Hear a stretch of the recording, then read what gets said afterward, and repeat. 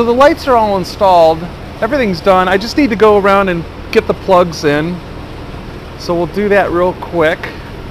And then after this, I just have to program the controller. And I'll show you how that's done later on in the video.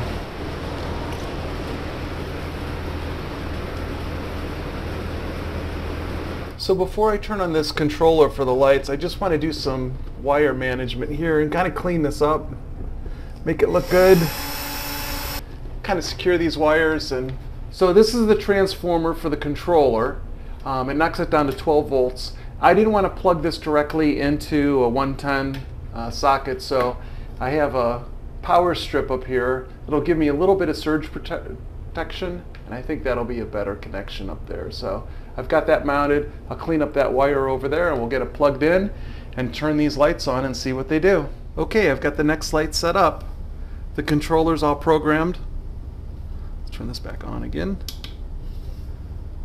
And that's what we're looking at so far. And the lights are very bright. We only have them at 50% right now because it's in the middle of the day.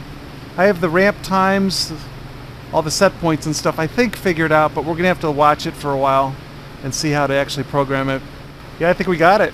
This looks good. Should be interesting when it gets dark. I have it coming on at 5 in the morning and going off at 8 at night. So we may extend or minus that down a little bit, just depending, but looks cool. All right, so Nathan Donnelly here with CropKing out of Bradwood Farms, and we're going through and we're evaluating basically no lights versus the NextLights that they put up here a couple months ago. And the meter that I'm using is going to be this Advanced Quantum Power Meter by PhotoBio. Um, I believe this guy is going to run under 300 bucks, which is a far better price point for people than some of those LI-COR meters that I have, anywhere from 600 to 3,000 bucks for those. So this is going to go through and again check our PAR light, which is PAR photosynthetic active radiation, which is the lights that plant use. And here in the lettuce side where we're not going through and running any lights, you'll see that we're getting around 130, 140 um, micromoles. And then we'll roll this over here underneath the lights where the tomatoes are at so we can go through and see how much more additional light that we're getting with the NextLights. So yeah, then we come over here underneath the NextLights and we'll see that we're picking up um, 235 so essentially we're picking up close to an additional 100 micromoles with running these lights. And um, I'm correct that you guys are running these at about 60%, right? So we could even go through and ratchet that up even more to go through and even increase light intensity here. But I think that with basically where we're at weather-wise at 250 running it for um, 14, 16 hours a day. I'd have to pull my chart up and see, but that should be getting us somewhere around 16 to 18 uh, DLI, which is where basically the target we're at for tomatoes. So.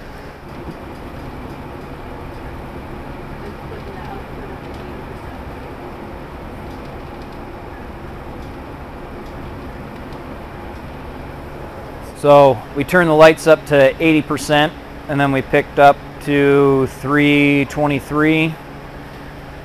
So we picked up some more light. And then here we'll go ahead and we'll crank them up to 100 and we're getting a lot of influence from the outside sun too.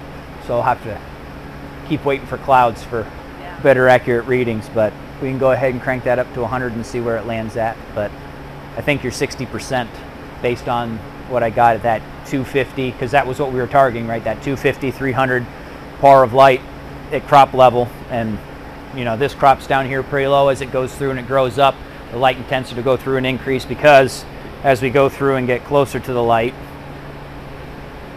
that number should go through and go up as well. So so yeah I say 60% where you guys are at is perfectly fine for where this crop's at and running it for 14 hours a day like I said I can pull a PPFD chart up and we can look at it real quick and make sure that I'm right on where we're landing okay. so I was wondering. I was kind of guessing. Yeah. So, so yeah, if we want to crank her up to 100 just for giggles. so yeah, we turn that up to 100%. We're getting a lot of sun influence now. The cloud cover's breaking up, but we're floating here around between 5 and 650 micromoles. So, so yeah, my recommendation based on what we saw, and I'll pull up on my phone here the PPFD chart and see where we're at based on that 250, 260 reading we got, where we're landing at. So PPFD, so PPFD is your instant readout. It's basically just another way of saying micromoles. Um, it's PPFD, photon flux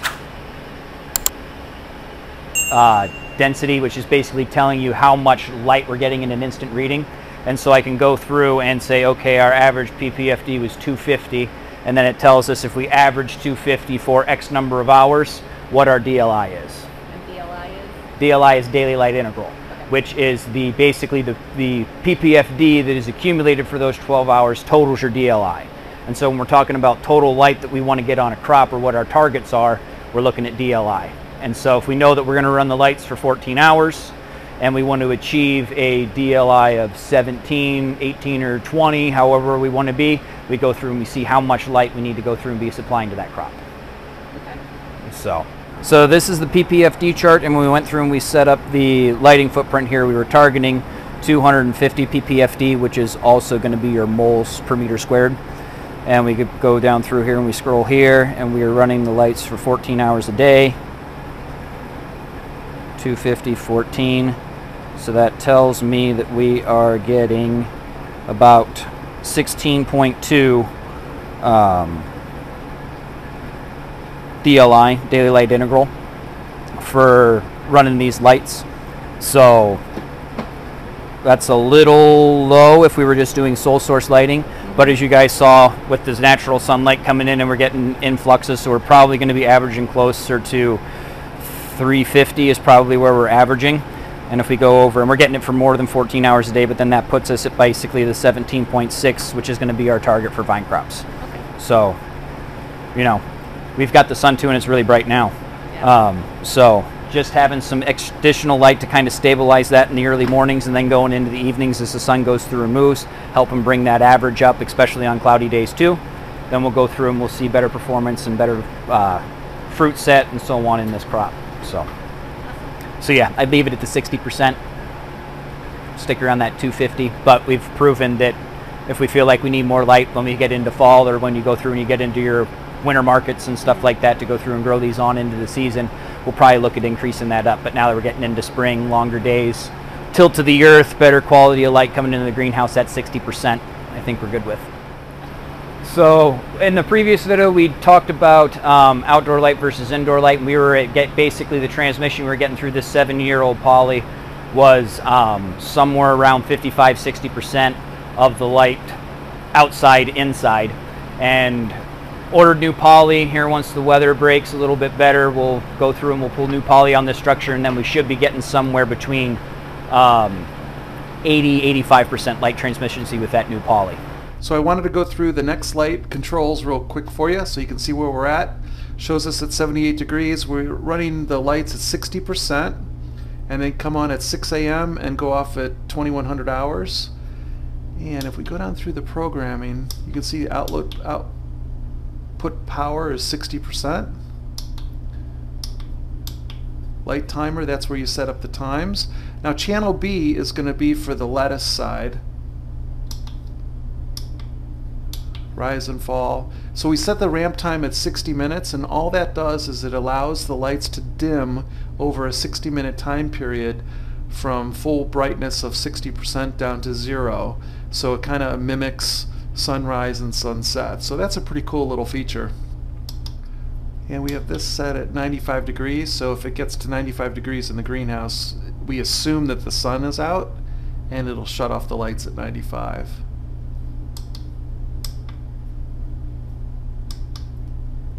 And that's it.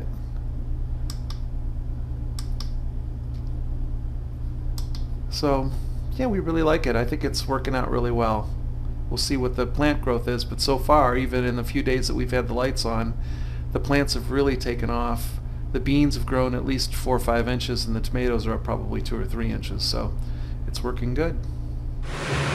So we're really lucky that Crop King is so close by and Nathan gets to come out and visit every once in a while. Really learned a lot about the lights today and we love sharing the information with you guys. So in the future, we're going to do a few videos on strawberry nutrients with Nathan. So look forward to that. I hope you guys enjoyed today's video on the lights. I certainly enjoyed learning about them. So please leave me any suggestions, comments, or questions down below. We'll see you guys next video.